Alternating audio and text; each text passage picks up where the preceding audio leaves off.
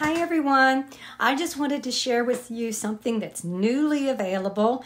Just a day or so ago, the Butterfly Brilliance stamp set and dies became available. And I just want to share with you a card that I haven't made yet. I've just got the pieces cut out and I just want to show you some of the fun stuff with this set. So let's take a peek. So, just to introduce myself, so if you don't know me and you're just finding me, this is Carol Tennant from Carol's Cards for Fun .stampinup.net or my blog Carol's Card Cards for Fun spelled like like this at blogspot.blogspot. I'll put a link in the video. Okay? Um but a follow up to our last video, remember I showed you how to replace the end of the Stampin' Blends. I tend to like to color my jewels and the, um, the diamond wannabe jewels. Let me just get those out. Well, I color the pearls and I'm reaching down below me and I color the diamonds and the diamonds are kind of faceted. And when you color these you can kind of tear up the tips of the markers. So I I do that. I do that a lot I admit. It's it's my fault. But what that does is make the marker tip kind of um, uh, it, it doesn't it doesn't color as nice and sharply. It, it has nasty edges. So I showed you in the last video how to replace it with a Copic marker. And you see here where it's kind of yucky on the edges where I've colored with the old one that I did throw away in our last video. But see how very nicely it colors. Now of course I'm holding this and I'm not able to make beautiful, but it's not it's not messy on the ends like that one is. And I meant to show you at the end of the last one how this did fill down. If you remember, I put I put the uh, end in and then I just set it aside and I was going to show you that yes, it will indeed flow down to it. So the ink flowed down to it. And now this marker has a nice fresh tip. Uh, that I can now color again without having those messy fuzzy lines on my, my coloring piece. But the whole point of today's video, of this video, is the Butterfly Brilliance Bundle. And the Butterfly Brilliance Bundle comes with one stamp, and it's a bunch of butterflies, and it stamps just like the package says. But the really awesome fun part is it also comes with all of these dies. It comes with dies that will cut out the, the stamps if you want to stamp it, or it actually cuts out the designer paper. Let me find a piece of that. I mean, the designer paper is really pretty in beautiful colors, but there is some of this designer paper that just fits. I have to find it in here because, yeah, here it is. That just fits this die.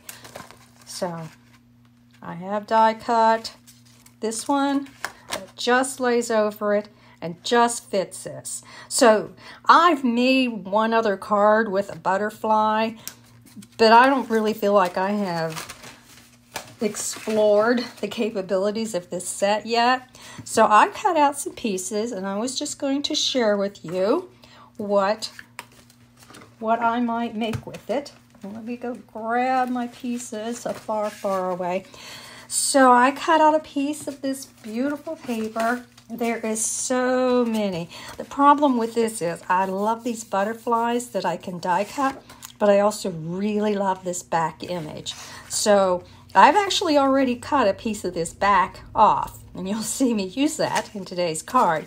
But the it is just so beautiful, and there's so many things that I can just think of, cards to make. And I love these colors, these lovely soft colors. I mean, the nice yellows of the butterflies, but then the lovely soft, uh, the Just Jade. Um, now, this is also Magenta Madness, which is one of our in colors, but these are just really pretty springy colors. So, uh, this paper is actually only available for another month. It's available March and April while supplies last. This stamp set and die set, the Butterfly Brilliance and the, oh, several dies. How many dies? I'll tell you in a moment. 12 dies because it has this is one and all of these plus a few others that give some nice texture. These will be in the new annual catalog, which I will be sending out to many of you next month. I'll be putting ordering it for you this month and it should be sent to you next month. But this is just a card and it just came to my mind that okay, I'm just going to start and just cut out because I did cut out all of those butterflies.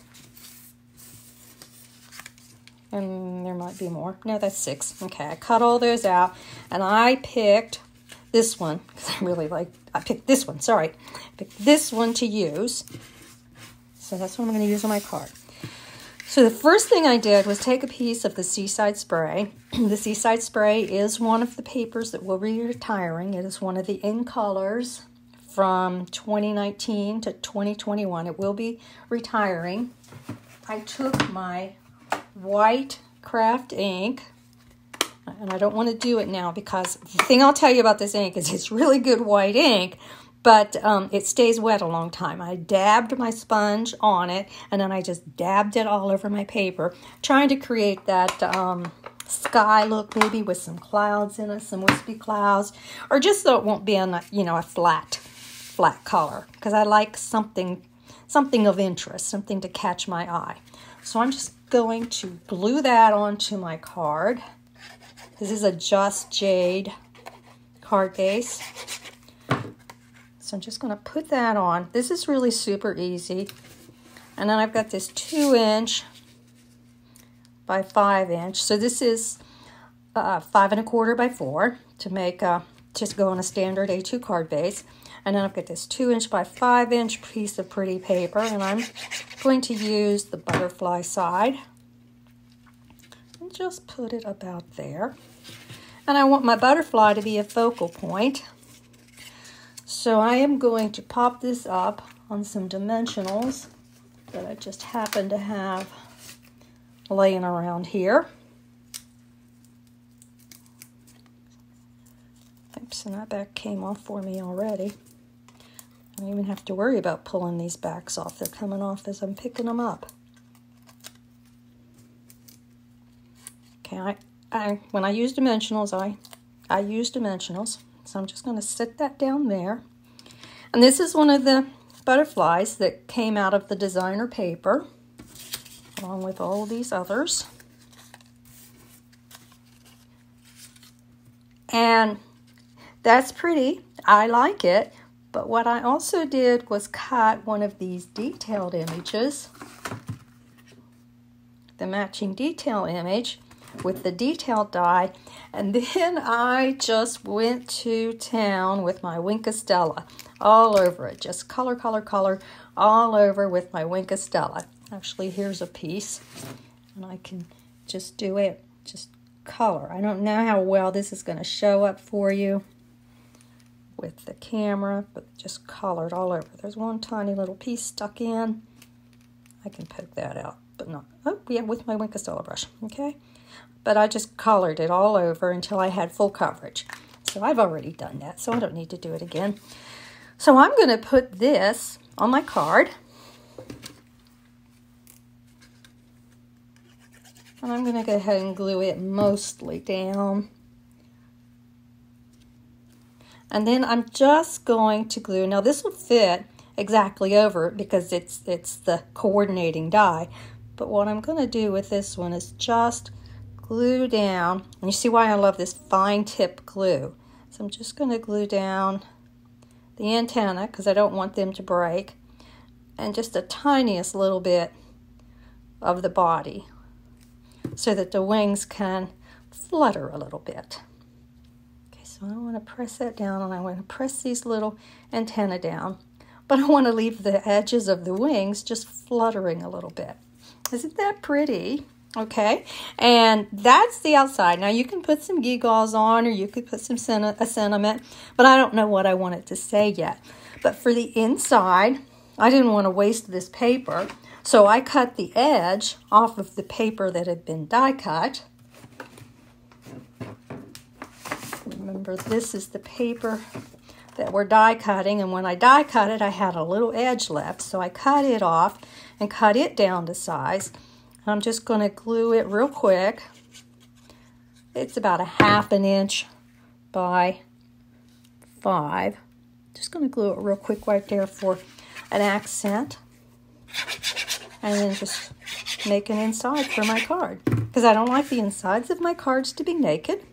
I like them to be pretty too. They're not the focal point, but I like them to be attractive. And I like to leave myself a nice place to write.